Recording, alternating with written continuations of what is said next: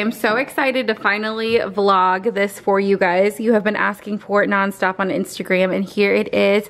This is Elsie's nursery tour.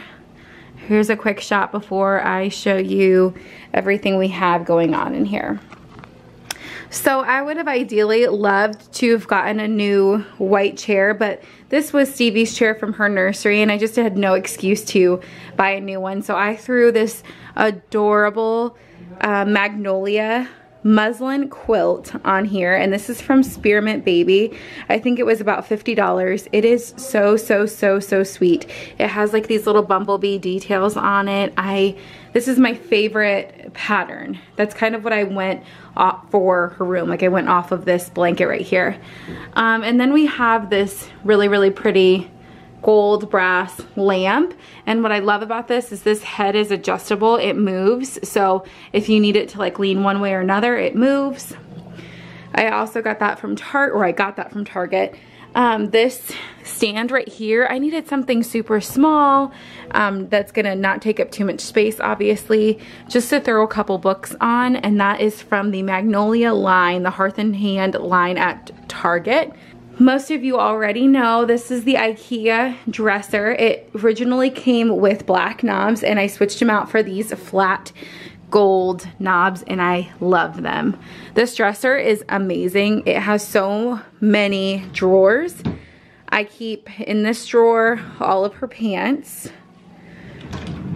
And then I do tops, onesies, pajamas, and diapers. This is the perfect, perfect dresser for us. And I'm embarrassed to show you this, but I'm gonna show you anyway. This is her bow, bow and hat drawer. How ridiculous is that? Up here, I just have a quilted changing pad. And then I just have this braided wicker um, basket holding some of our baby items. I always keep like uh, something for her to play with on the dresser. So when I brush her hair or clip her nails, she is occupied. If you have not tried this Tubby Todd Bathco Natural All Over Ointment, it is such, such a good product. Let's see if I can get that into focus, sorry. I'm working with one hand. Um, it is such a good product. It's perfect for sensitive skin if you have eczema or KP or anything like that. You can also use this as, um, what is this called? Diaper rash cream. You can also use that for that. Also, this is my favorite hand sanitizer from Grove Collaborative. It's the only hand sanitizer that doesn't crack my hands and make them like super dry. So love that. We have the Hatch Baby um, sound machine. So you just tap the top, you can change the color, change the sound, and then you hold it down on the top to turn it off. It also has controls at the bottom if you need them. So that's a fun little gadget. Then this cute lamp actually came from Stevie's nursery. I just transferred it over here. The colors fit really well with Elsie's room and that's from Target as well.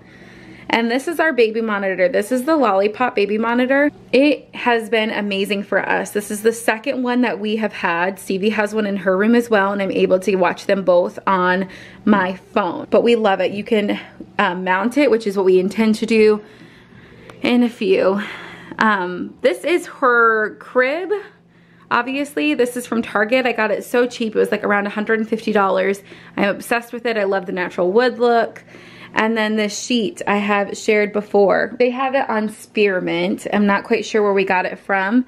And then her absolute favorite nighttime essential is the Yeti Slumberkins. She's obsessed with this one. This one specifically is her favorite. She also has the, oh, he's stuck, the unicorn Slumberkins as well. That's her second, her second one that she likes. This is our basket wall. If you follow me on Instagram, you've seen it before. It is like my absolute favorite. It was a dream come true watching Steve put this together. My sister-in-law got this for Elsie for Christmas, I believe, from Etsy. And then these baskets I randomly found on Marketplace from just different people. Steve framed in these walls and made three borders, if you can see them. I hope you can. And that detail just added so much to this room. It just kind of made it that wall pop a little bit more, made it look just more elegant. Over here is her closet. There's nothing fancy in there. I do plan on showing you an organizational video for that. And then up here we have her baby book. And then these two matching signs, the rainbow and the stripes, we got from a small shop in Sabetha, Kansas. It's, I believe, called Our Creative Farmhouse, but I will tag them below in the description box if you are interested in these signs. I absolutely love them and I love the company that they came from. We have, I don't even know what this plant is. Is that considered a succulent? I'm not even sure, but it's real. And this little pot was just too cute. I loved it. It's from Target. This teddy bear is actually Steve's first teddy bear. And then I have her nine month old sign because we use that for pictures. I got this BU sign at Target as well. And then these two shelves right here are also from Target. These are the 24 inch shelves. They have two sizes. So is that little flower arrangement that's also from Target. Then down here, I used um, her baby, her Moses basket that she used to sleep in to store all of her snuggly little items. Um, so all of her slumberkins and her stuffies and then her blankets are in here as well. These um, baskets that are inside of the Moses basket are from Target.